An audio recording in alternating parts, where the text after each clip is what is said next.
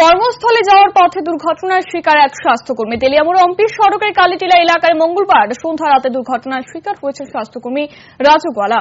বর্তমানে তার চিকিৎসা চলছে তেলিয়ামুড় মহকুমা হাসপাতালে। তেলিয়ামুড় মহকুমা হাসপাতালে কর্তব্যরত রাজু গোয়ালা মঙ্গলবার রাতে হাসপাতালে যাওয়ার পথে মোটর বাইকে নিয়ন্ত্রণ হারিয়ে দুর্ঘটনার কবলে পড়ে।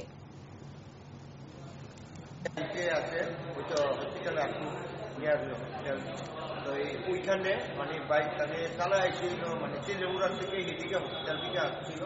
তখন নিজেই হসপিটাল করেছেন করেছে মানে নিজে নিজেই নিজে নিজে অ্যাক্সিডেন্ট নিজে নিজে অ্যাক্সিডেন্ট হয়েছে এবং তার নাম হলো রাজু রাজু হার্টে ঠিক হয়েছে তাই নাকি হসপিটাল স্টাফ তাদের হসপিটালে স্টাফ করছি আমরা। এখন আনছি করে হসপিটালে স্টাফ করি আমরা এখানে অনুবাদ করে দিচ্ছি ডক্টরের কাছে সে কি এর মধ্যে আছিল হ্যাঁ? বাইকের বাইকের। বাইকের বাইকটার বাইকটার নাম্বার আনতে পারছি।